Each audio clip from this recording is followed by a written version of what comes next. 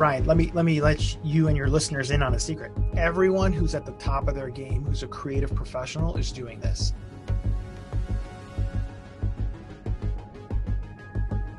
You know how they say that we can only access 20% of our brain? This lets you access all of it. Coding Greatness, I talk about all these techniques that you can use that range from something I call reverse outlining, which is, you know, everyone's heard of outlining. When you're a college student, you would outline your paper by putting in bullet points what you're going to put in every paragraph, and then you would write those paragraphs. Reverse outlining is traditional outlinings sneak your cousin, which is take a finished product and then work backwards to see if mm. you wanted to reduce every paragraph into one bullet point, what would it look like? When by the time you're done, you've got an outline of what needs to happen in every paragraph, and that's a template that you can then uh, apply to your speech. And- And I think it's all about having a mindset of A, curiosity, but also B, thinking in blueprints. Every time you experience something extraordinary, don't just enjoy it passively. Think about how does this work? How do I recreate it? And how do I apply it to something that I'm working on in order to improve? And so I think just having that mindset of curiosity, of breaking things down, figuring out what the elements are, is a crucial step that doesn't get discussed.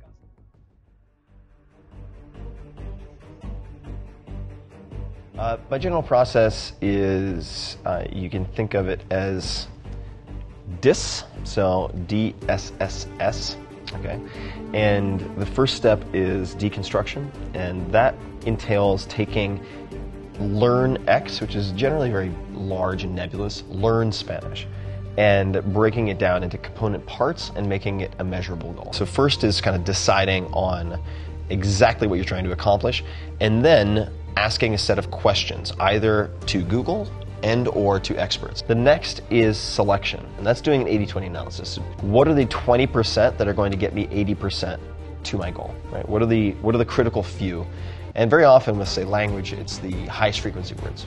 You don't have to The learn top 1,000 words or yeah, whatever. top 1,000 words are going to get you through 75%, 80% of any conversation. Then you have uh, sequencing, putting things in the right order. This is, I think, the most neglected secret sauce. It's like, how do you take what you've decided, what you've gathered, and put it into a logical progression? This is where things often fail. Like And learning this first, then this. yeah, then like like if for each skill, asking yourself like, what are the prerequisites to this skill? For people who can't do it, what are the prereqs? And if someone says, well, like today we're going to practice this, well, what should I be able to do before this? Technically and physically, maybe even emotionally. And the last one, which is almost universally neglected, the third S. the third S is stakes. You need to build in incentives because for most of us who are trying to learn something, not always, Sure. these are extracurriculars, right? So if, if you're trying to learn something for your job, the incentive is don't get fired or get a raise, right? You have built-in incentives. But for I'm going to learn fill in the blank, right? I'm going to learn how to play tennis in my spare time or try to learn a little bit of French before I go to France like 6 months from now. You need incentives. You're only going to be as faithful to your goals as your incentives compel you to be. That's it. And so, if I wanted to achieve the type of outcome that I desired, doing well in school, I was going to actually have to change my approach. And so I made a marginal adjustment. If I would get an assignment, let's say read five chapters in a book, I wouldn't think of it as five chapters. I wouldn't even think of it as one chapter. I would break it down into these tasks that I could achieve that would require me to focus for just five or ten minutes at a time. This whole idea, it worked really well in school. It's been serving me well as a professional. Why aren't I applying this in my personal life? Like to all those big, ambitious goals I have for myself. So, what other big, ambitious goals I've been holding on to, putting off until retirement, that I could potentially achieve if I just made a marginal adjustment to my routine? So, I started doing them. I earned my auto racing license. I learned how to fly a helicopter, did rock climbing, skydiving, and learned how to fly planes aerobatically. All I do is take really big, ambitious projects that people seem to marvel at, break them down to their simplest form, and then just make marginal improvements along the way to improve my odds of achieving them. And so the whole reason I'm giving this talk is I'm hoping to inspire several of you to pull some of those ambitious dreams that you have for yourself off the bookshelf and start pursuing them by making that marginal adjustment to your routine. We don't learn by trying to put stuff into our brains. We actually learn counterintuitively by trying to take stuff out of our brains. And so if you've had that experience where you've read something in a textbook or on a website and someone asks you about it a few days later and you've completely forgotten about it, that's just because you haven't tested yourself on that knowledge. But if we move towards thinking of testing ourselves as being a strategy for learning, everything becomes so much easier. That's why when learning to play the guitar, there's only so many tutorials you can watch before you actually start having to put it into practice. When you're studying for exams, there's no point reading the textbook and just summarizing what's in the textbook. The point is you have to test yourself so that your brain has a chance to work, to retrieve the information, and that is what really drives learning. Spaced repetition. Basically, there's a concept called the forgetting curve that was discovered by a chap called Ebbinghaus in like the 1800s. And the forgetting curve is that whenever we learn anything, whether it's like a fact or a skill or whatever, we're just going to forget it and our memory for the thing is going to decay over time.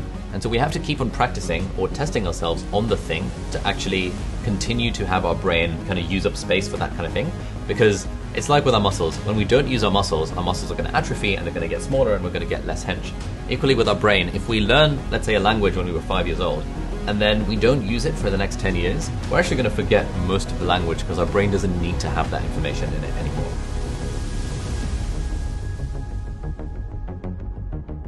Teach what you are trying to learn. We all we often have this thing of like, oh, I'm not allowed to teach something until I become an expert at it. But there's this concept that C.S. Lewis talks about that I talk about a lot called the curse of knowledge, which is that when we're when we're trying to learn something, often we don't learn best from experts. We learn best from people who are just one step in front of us along that same journey. So the way I think of it is that I would rather learn from a guide than learn from a guru guide versus guru, and I would rather be a guide than try and be a guru. And certainly for me, I found that when I was going through medical school, my favorite revision sessions or lectures would be the ones that were given by medical students in the year above me, rather than those given by world class Nobel Prize winning professors, because those guys were like old and like really far removed from the things that I needed at the time, whereas another medical student just one year above me was like really, really helpful. Now I have a general policy that whenever I'm learning anything, I'm documenting my process while learning it. And that helps me learn better because I know that I'm possibly going to be teaching this thing a few months or years.